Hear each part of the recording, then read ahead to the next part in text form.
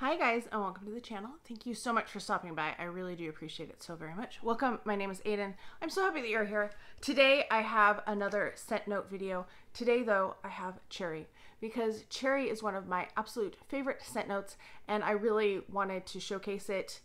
I have quite a few in here. I have some that are in a similar line that have cherry. So I kind of wanted to give you options. I'm not going to go super in depth on a couple of them though, because I have done videos just extensively on them and I will have links for those up above. But I wanted to kind of go from my favorite cherry things that I reach for that I crave that I absolutely love. Wanted to talk to you about those and then uh, yeah. So let me know your favorite cherry scents down below in the comments. Let me know if you've tried any of these cherry scents what you think of them. These all have a prominent cherry note. That that was that was the goal. Like they had to have a cherry, a prominent cherry note. And then also, if you haven't already subscribed, please do consider subscribing and please like this video. It really helps out small YouTubers. I'm really trying to increase my sub numbers and my views a little bit. So every little bit really helps. I've talked about this perfume a few times, so this is probably absolutely no surprise whatsoever. This is Jean Paul Gaultier Scandal by Night. This one I think has been recently decluttered. That's what I've heard. This is not available in retailers in the United States though, so it it's hard to know if it's like I just have to go by what other people have said. And I've heard that it has been dis- decluttered or discontinued. This is my Oh, I don't want to say it's my favorite of the scandals, but this one is very, very cherry forward. Oh my gosh. Rich, syrupy, very sweet. It has honey in it. So it's like this cherry infused honey and it is very rich and very opulent and probably not not, not a work scent. I wouldn't wear it in, for work. I know people would not wear this to like in the summer, I would wear this in the summer, and I have worn it in the summer. Maybe not in 100 degree heat, but I have worn it and I wear it year round. I just, oh, it's it's such a good pick me up scent. So the notes on Scandal by Nights are honey, bitter oranges, and citruses. Middle notes are cherry, tuberose, orange blossom, pear, and nard Himalayan. Base notes are tonka bean, vanilla, patchouli, sandalwood, amberwood, and musk. I this is like a sweet syrup bomb if you put this on my pancakes, I would absolutely. This is the type of cherry syrup that I would eat. I, am not a big pancake person because I don't like syrup, but I love fruit syrupy scents, if that makes sense.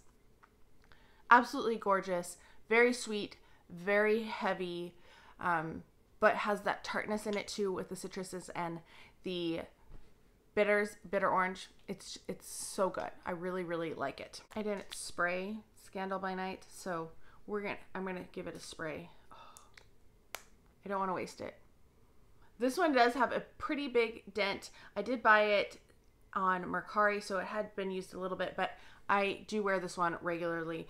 You don't need to overspray it. Like this one has a lot of presence to it, so you know, four five sprays and you're gonna be smelling it for a long time. Yeah, it's even sweeter on the paper. The cherry is just really well blended in with that honey and the citruses. Like they all just blend together and it's just, it's delicious. I could see this being a delicious drink. I like to smell like a delicious drink, so you might not enjoy that and you might enjoy some of my other scent choices better. Next up we have from Montale. This is Intense Cherry. I picked up a decant of this from Royalty Scents before I purchased it because I wasn't sure if I was going to like this one. I got this and then Mancera's Wild Cherry and they were that one was okay. It's not I liked this one better. This was more of a candied cherry kind of like sour cherry scent. So our notes on this are bergamot and black cherry, Middle notes are rose petal and jasmine. Base notes are musk, vanilla, and sandalwood. I hate these little things. And this, uh, if you get a tester, they have them permanently on there. But I feel like this cap doesn't stay on there very well. My uh, chocolate greedy, it's constantly falling off the the sprayer. It drives me nuts. This is a very sour cherry, the bergamot I think makes it more sour. It is also has a synthetic note to it. It smells slightly plasticky. I don't mind that. It almost smells like you had a really sour cherry shampoo. That's what what I kind of get. So it's a little soapy in nature. It's sour. It has a little syntheticness to it, but it definitely is a cherry scent. And I think this one would also work year round for me because it does have that uh, soapiness. It doesn't feel overwhelmingly sweet or anything, and it's really interesting. Is it my favorite of these? No, but I do really like this as a cherry scent, and I will happily wear it whenever. Let's get the elephant in the room out of the way. This is Tom Ford Lost Cherry. This is probably the most famous cherry. What a lot of people, how they got into cherry in the first place. Feel like I've used quite a bit. I've had this one for quite a while. I actually got this before it really blew up on YouTube. It was still uh, a limited edition when I got it. That lasted so long. Other people say that this doesn't last very long on them. This one I've had, I've gotten sick of because I could smell it 10 hours later.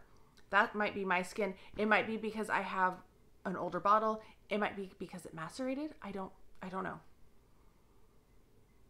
I get a deep cherry, but it has that liqueur scent to it, and the almond is also there. So it's almost as if you took because almonds are the middle of a drupe. I know I say this probably every time I talk about drupes, but cherries are a drupe. So it's almost like you've taken the pit of a cherry and you've cracked it open and you've taken that nut inside and you've mixed that in with the cherries. It's beautiful. It's boozy. It's not a summer fragrance for me. This is one that I definitely reach for in the winter more than any other time because it is very thick. It's very deep. It's not a fun fragrance, I don't feel like. I feel like the one that I just talked about and the next one I'm going to talk about, they are very fun fragrances. And this one doesn't have like that element of fun to it. It's more, a little more serious. It's beautiful. I do like it. Is it worth $400 now? No, it is not worth $400. These are $395 now, the last time I looked. Even if you find this at the cosmetic company store and it's 50% off with 15% off, that's still a lot of money. That would be the best way to get it. I have not seen it on Costco. That's how I finally got my bitter peach, but it get a bargain on it. Don't don't pay retail. Don't pay 20% off. Get it a minimum 50% off. I should tell you the notes on Lost Cherry. So our notes are bitter almond liqueur, bitter almond liqueur, black cherry. Middle notes are sour cherry, plum, Turkish rose, and jasmine sambac. Base notes are tonka bean, vanilla, cinnamon, Peru balsam, benzoin, sandalwood, cloves, cedar, patchouli, and vetiver. So I do get a little bit of the vanilla and the tonka bean in there too, but it's mostly those top notes are what I really get and that really stick with me. And I might just be a unicorn with how long it lasts because I have other people report that it doesn't last as long. I do have another bottle of it that influencer sent me. It's still sealed though. I have not tested them against each other because I, I have my bottle that I bought years ago. So we'll see. Maybe when I get to it, I will be able to tell you if there's any difference when I get to it, probably in like three, four years' time. The next scent I want to talk about is Prada Candy Gloss. I absolutely love this scent. This makes me so happy. I've used over half of this bottle up. I've gotten compliments on this when I've been out and about. I went to lunch with a friend and the waitress complimented me, and this was back when we were just recovering from COVID and the servers were still wearing masks. She was like, what are you wearing? You smell amazing. She did think maybe I was wearing something from Bath and Body Works. So keep that in mind. I don't think this smells, I think this is if you want to compare it to Bath and Body Works, this is like Bath and Body Works on steroids. It has much more projection, it has more longevity. It's just a little bit different of a scent. I don't I have never had I've never seen them do a cherry quite like this. Mm. I love this one so much. It does kind of smell like a candy.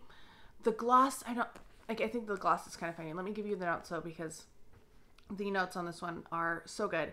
So our top notes are sour cherry and cassis. Middle notes are peach, rose, and orange blossom. Base notes are vanilla, almond, benzoin, heliotrope, and musk. So to me, this is such a sour cherry. This is a different cherry than any of the cherries we've talked about. This one is so bright.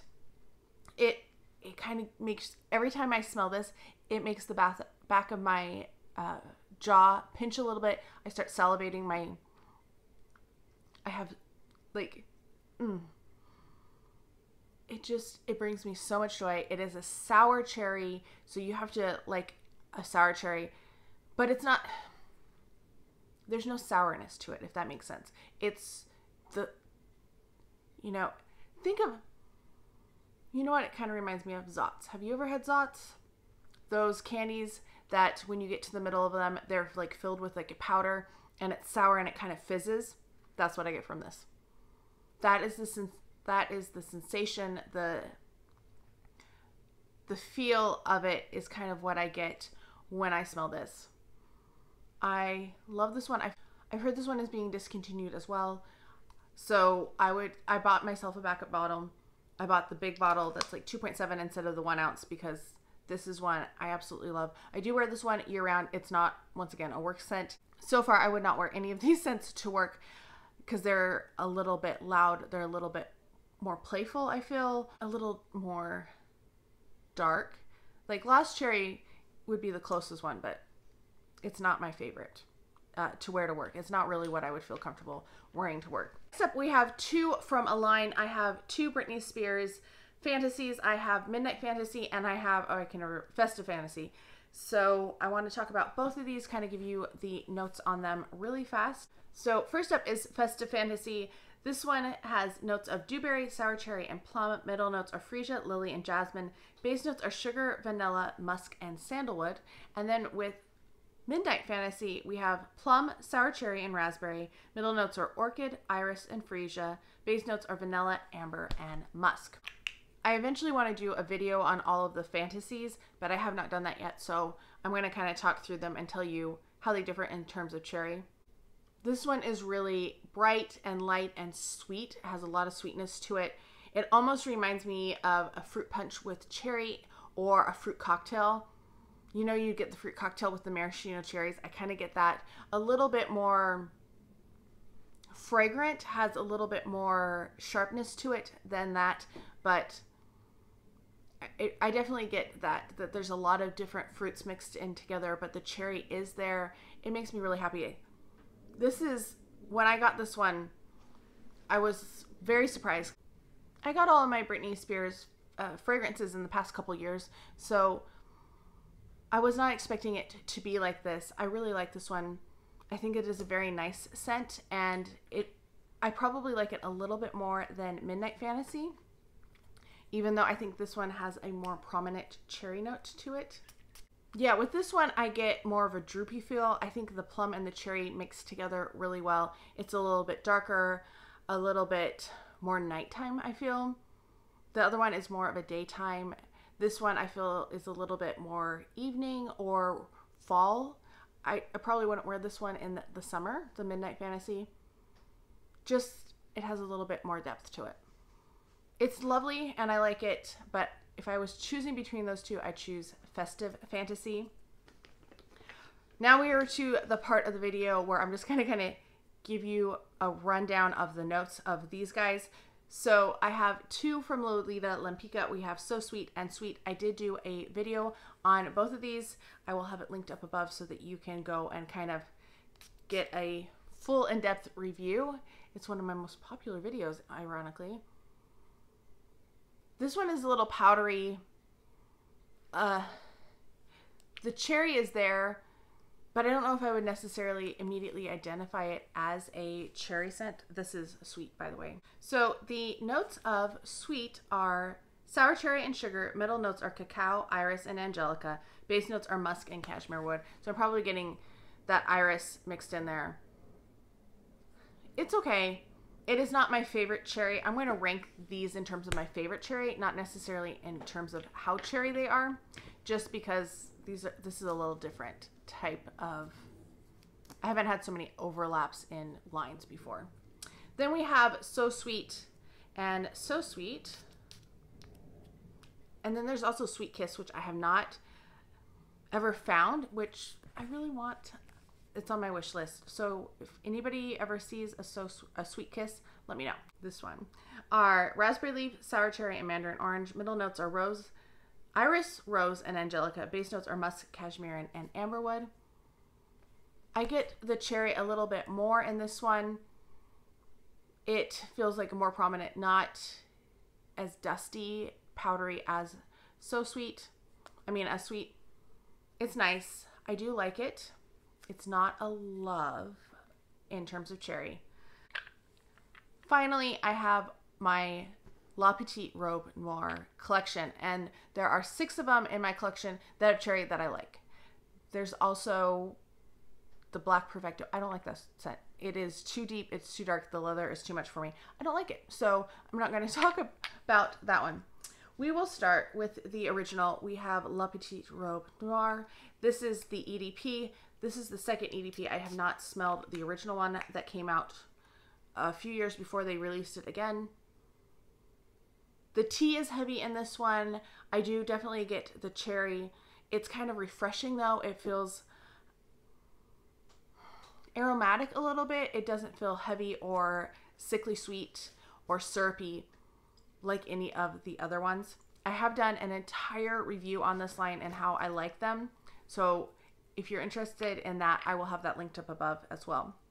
I'm going through these kind of fast because one, it's getting late and I have to go to church. and two, I also like I don't want to repeat all of the things that I said. We have the EDT of La Petite Robe Noire. This, I think, was the second one I picked up. The first one I picked up was Couture, which doesn't have a cherry. Hmm. This one's smelling a little alcoholic to me. I hope this one hasn't turned. Usually what I get from this one is it's lighter. The tea is not as heavy. Oh, I should give you notes. So the original La Petite Robe Noire, the notes are sour cherry, almond, red berries, and bergamot. I think there's a little bit of bergamot. It has a slightly citrusy likeness to it. Middle notes are licorice, rose, tea, and taif rose. Base notes are vanilla, anise, tonka bean, patchouli, and iris. And I do get the rose. It almost smells like a rose tea to me, like there's that essence in it. Then we have the EDT. The notes on this one are top roads are top notes are rose, green notes, and jasmine. Middle notes are sour cherry, apple, orange blossom, and black currant. Base notes are white musk, patchouli, and white amber. Yeah, it's calmed down. I think it was the green notes that were really throwing me off because they were not smelling. I feel like this wears better on the skin than it does on paper. I get a little bit more of the rose than the cherry in here. Like the cherry is still there, but I feel like it's kind of overpowered by some of the other set notes. Then we have, please, is this Plissé? No, this is velours. Velours, and then we kind of get a little muddy because some of them are a little harder to tell the difference between. The top notes in this one are sour cherry, mandarin orange, and bergamot. Middle notes are almond, violet, and rose. Base notes are tonka bean, black tea, and patchouli. I get more of the cherry note in here, but it's a very dry almost arid cherry. The citruses are a little bit stronger. It's nice. It's not my favorite. I think if the original is too much for you, I think this is a better version than the EDT, just in terms of cherry. And then we have Plissé, and Plissé, I buy gotten all of these either on the gray market or the secondary market just because they are not available in retailers anywhere that I've seen. So, like this one and the last one I bought from Mercari. The other ones I bought from Fragrance Net or Zulily or TJ Maxx. The exception to that is they are sold in Disney World, but I'm not going to Disney World to buy perfume at full retail price. So Plissé, let me get you the bottle. They all have different dresses. The notes are sour cherry, apricot, and mandarin orange. Middle notes are black tea, almond, and rose. Base notes are patchouli and white musk. This one is a softer version. I feel like this is the least sharp. It's the most it's not really powdery, but it's just more well rounded. It doesn't have some sharpness to it, which I feel like the other ones do with the tea and or the citrus. It's really pretty. It's the sweetest so far of all of them that we've talked about. It's it's really nice. I do enjoy that one a lot. The next one I have is Oh Fresh, and this one I've also think I've heard is discontinued like I said, a lot of these are not available in retailers in the United States immediately, so it makes it a little harder to figure out what's in available and what's not available. And I buy a lot of things on the secondary market. I mean, the gray market. So the notes on Oh Fresh are lemon, bergamot, mandarin orange, and orange blossom. Middle notes are almond, almond blossom, sour cherry, freesia, strawberry, raspberry, peach, Turkish rose, Bulgarian rose, and jasmine sambac. Base notes are pistachio, almond, vanilla, tonka bean, patchouli, and white musk. So many scent notes in there. I think this one has the least cherry amount of all of them. It does have that cherry, but the nuts, the nuttiness kind of plays a big part, as does all of the citruses in it. So, of all of the Petite Robe Noirs, La Petite Robe Noirs that I'm talking about, that one has the least amount of cherry in it. And then my favorite of all of these is the one with the most cherry. And this is Legere or hippie hippie chic. I don't I've seen it listed both ways. And this one is very summery, very cherry. Trying to hold three things and I only have two hands and that's kind of a problem. So the notes on this one are sour cherry, almond, rose water, lime, lime and lemon.